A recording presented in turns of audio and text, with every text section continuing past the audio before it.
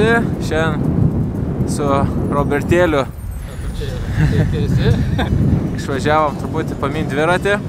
Dabar pastarąsias kelias dienas labai domiuosi, kodėl visgi man pradėjo skaudėti kelienėm. Tai kiek visi sakė ten specialistai bent YouTube'ai, kad visgi esmė yra ne kiek tu koja išsitėsia, kiek tavo koja, o svarbiau kiek jinai yra sulenkta aukščiausiai pozicijoje. Nes kuo sėdi žemiau, to koja labiau susilenkia. Tuo duodamas girnelės viršų didesnį apkrovą. To pasiekoje ilgose distancijose daug, daug minant pradeda skaudėti girnelės viršų. Nes va būtent dabar neturiu antros rankos.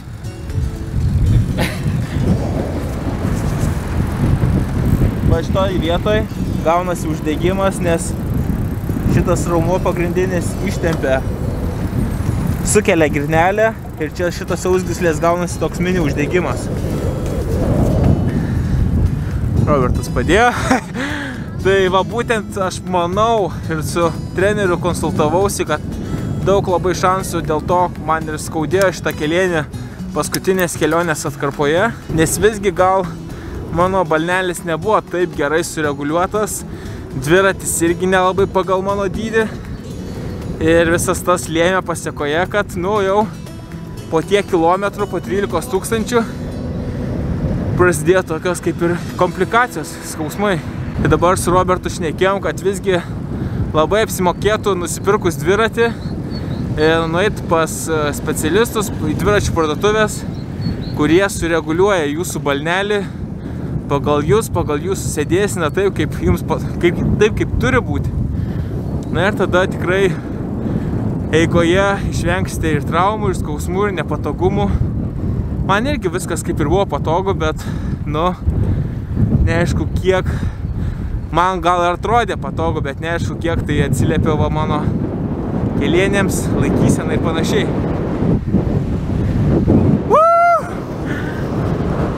Vagis kepurių. Ai, ai, dėkui. Šiandien, kadangi geras oras, buvo, tarpsime, buvo geras, pradėjo snikt lyti ir dabar vėl išlindo saulė. Pagalvojom, reikia išlysti gal į miestą su dviratukais, su apsaugom ir pravedinti galvą.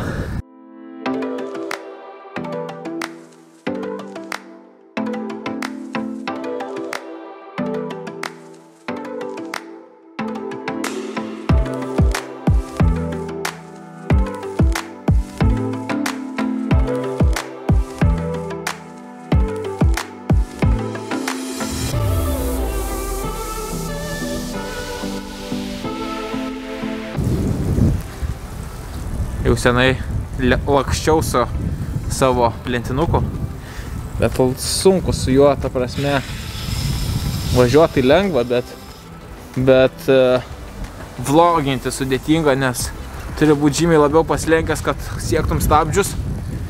O jei nesieki stabdžio, tai, nu, biški rizikinga, tai va. Ir vloginant, nes čia gali viskas nors iššokti ant kelio. Dar jau liekdamas nuo kalno, ant 40 su plentiniu tikrai vieną ranką nevloginčiau. O su savo skotuku drąsiai. Tokie va ir skirtumai. Nu va, šeštadienis. Visi gamtoj. Miestai tušti. O, dėdulė gargaliuką geria. Gargalo, gargalo daug.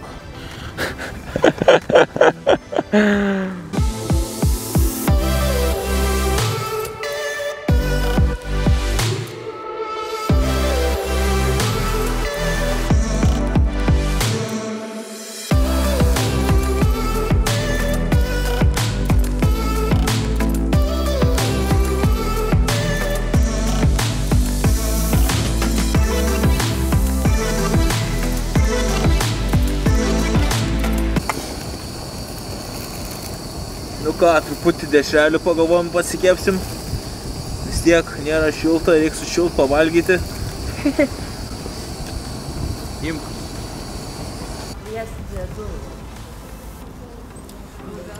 Bet žiūrėk, dabar žmonių pagausėjo. Pajautė, žinai, kvapą. Pajautė kvapą. Rankose.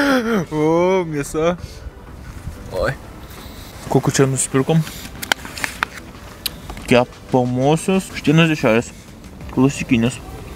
Kepti orkaitėje, o seniai, suglydom. Ant grotelių. Ant grotelių. Kepti keptuvėje. Be nitrinės druskos. Vilnius paukštynas. Respect. Remėjai. Vilnius paukštynas, duokit zvanoką. Truputį patobulino kepimo techniką. Lasdelį įkišau į, į, soliuką, tai laikyti nebereikia. o ką? O blema biški dega. Ištraukiu dabar. Skrudo biški. Nieko, anglis nėra tai blogai.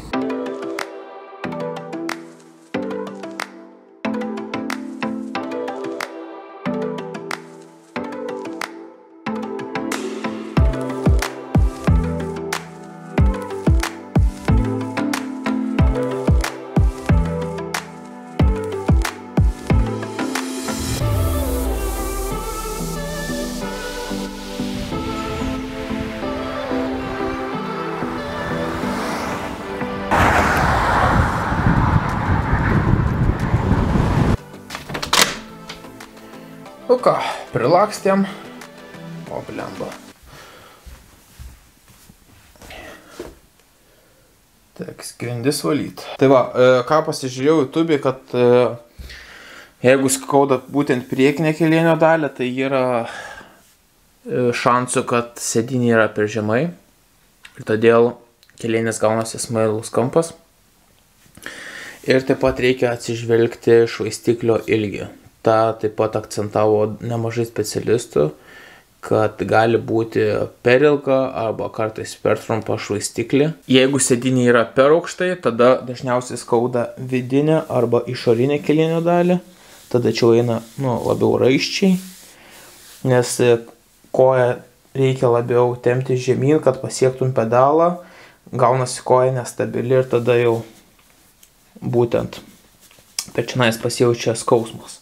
O jeigu kėlėnio priekis, rušunėlė, tada, nu, tipo, sako, kad balnelis yra per aukštai.